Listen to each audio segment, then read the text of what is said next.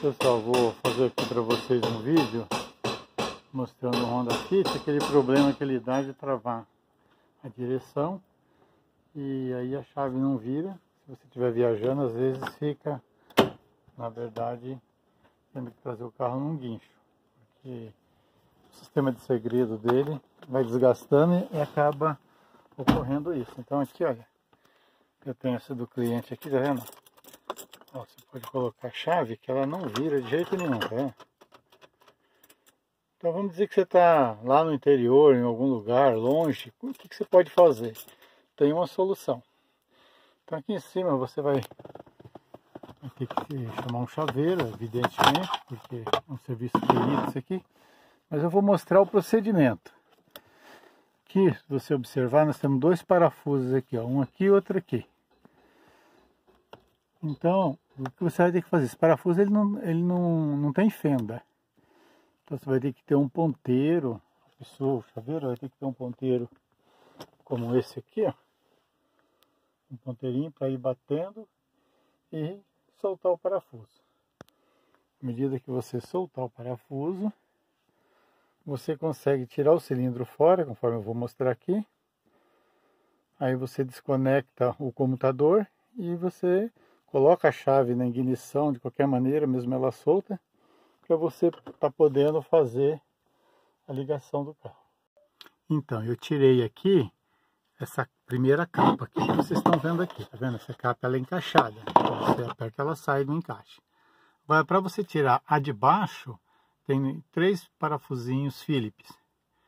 Um detalhe importante é que você tem que fazer com bastante delicadeza, é um serviço delicado, tá? E não pode forçar em nada, mas não tem que forçar, é facinho de fazer mesmo. Para quem não fez, nunca fez, é, acaba sendo um pouquinho mais difícil, mas na realidade é fácil. Vou pausando aqui, para o vídeo não ficar grande. Vou mostrar bem próximo aqui, ó, tá vendo? Esses dois parafusos aqui. Nesse caso aqui, olha, se você for ver, ele tem uma fenda, porque esse carro já apresentou esse problema uma vez, então você percebe que ele está todo o parafuso todo brilhando porque foi tirado com ponteira. E a pessoa já fez uma, uma fenda nele. Então aqui já ficou mais fácil o trabalho para mim. Ó, tá vendo? Eu vou colocar aqui a chave de fenda, ó, vou soltando, ó.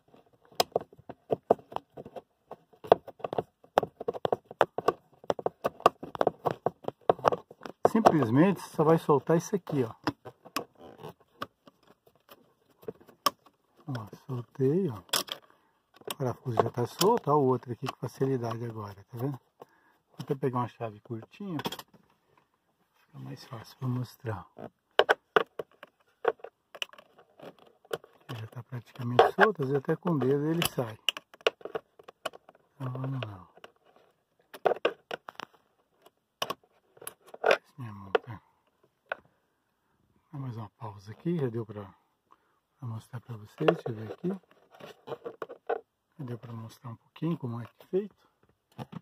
A chave maior acho que acabou sendo melhor do que a pequena.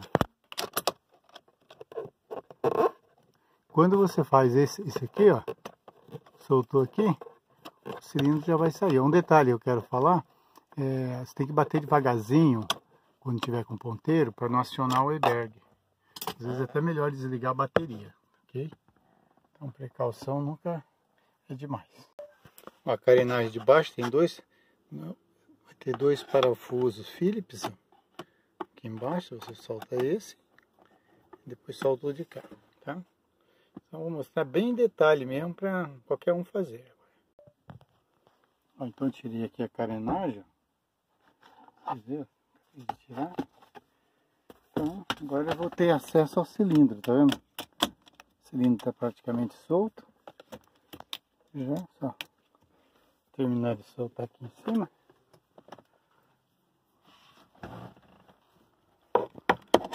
Outros parafusos aqui ainda não saiu tudo. Saiu já. Acho que esse aqui ainda tem um pouquinho de rosca. Dá mais uma pausa. Prontinho. Tô tirando aqui, tá vendo? Então aqui, olha, eu tenho o comutador, que é essa parte aqui que vai dar partida no veículo. quando eu viro aqui, eu vou, nós vamos encontrar aqui no fundo, ó, um parafuso. Você vai estar tá soltando esse parafuso.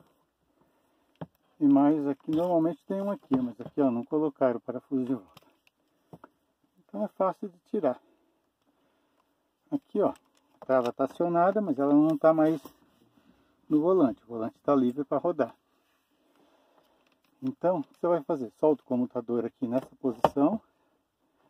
Se o carro é codificado, normalmente quando tem esse conector aqui, aqui tem código. Os mais antigos não tem, mas de qualquer maneira você coloca a chave na ignição para ela ler o chip que fica alojado aqui na chave. Conforme eu disse, esse modelo é mais antigo, ele não tem, mas tem todo o mesmo sistema, talvez tenha aqui dentro. E você vai poder funcionar o carro. Vou mostrar para vocês aqui, vou dar mais uma pausa aqui, para não ficar longo. Aproveitar, vou mostrar os carros automáticos também. Tem aqui no câmbio esse cheque aqui, ó. Aqui você vai colocar uma chave de fenda ou a própria chave do carro, você aciona para baixo, ele tem uma molinha, tá vendo? Para você puxar a alavanca, vem por pro neutro. Quando o carro quebra, tem que pôr num guincho. Então tem esse sistema aqui, porque senão a alavanca não volta. Então aqui, ó, libera a alavanca. Um detalhe a mais que eu queria mostrar só. Ó, então eu soltei aqui o parafuso. Eu vou puxar. O comutador vai sair, tá vendo? Saiu, eu estou com o comutador livre para dar partida no carro. Entendeu? Então se eu... Aí você tem que pegar e conectar novamente aqui, ó. Se você está no interior, vai trazer o carro para fazer um conserto, mas você não quer pagar um guincho, você conecta de novo aqui. Peça no lugar certo aqui. Ao contrário.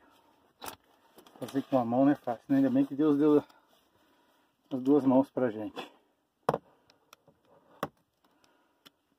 Agradecer uma dádiva muito preciosa. Essa dica, pessoal, é muito importante. Eu nem vou colocar aqui porque eu não vou fazer isso. Esse carro, como eu suspeito que ele não tem código, então eu posso aqui, ó, com a própria chave, eu coloco aqui dentro do, do cilindro do computador, tá vendo? Acendi o painel, tá vendo? Painel C. Ele não tem código, porque se tivesse código, o que, que nós íamos ver aqui? Ia ver uma luzinha acendendo e apagando. Então, ó, vou dar partida, ó. O carro pegou, pronto. Oh, minha mão tampou aqui. Então o carro funcionou já, tá vendo? Com a peça por lá de fora.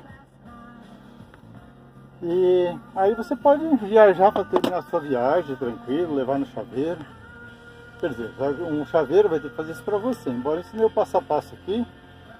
E qualquer, profissional, qualquer pessoa que tem um pouco de noção de mecânica, né? Vai conseguir estar tá fazendo. Agora eu vou desmontar essa peça aqui para mim fazer o conserto para a chave girar, que até então ela não está girando. Deixa eu desligar aqui.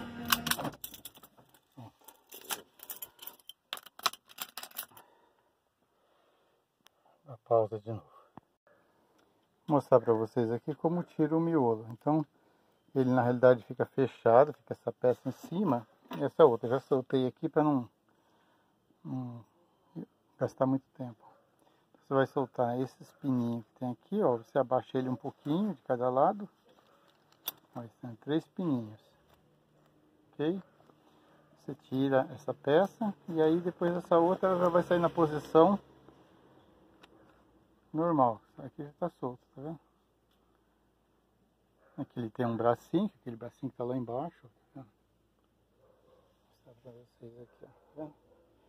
Você vai tirar essa pecinha ali, que tá uma molinha embaixo, ela é de plástico. Aí vai soltar um pininho para sair essa peça aqui, ó.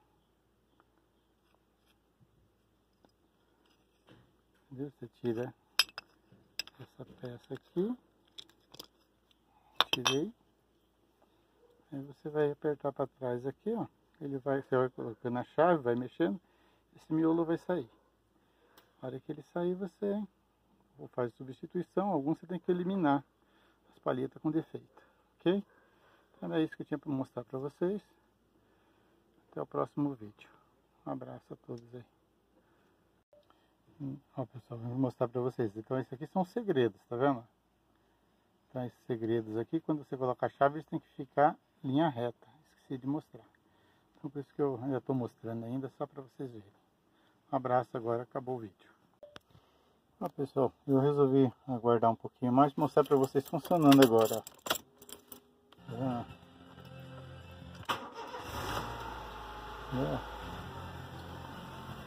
então tá consertado o carro, gastei em torno de uma hora para arrumar. Entendeu? Era uma palheta que estava estragada. Desgaste normal, prontinho. Um abraço aí a todos.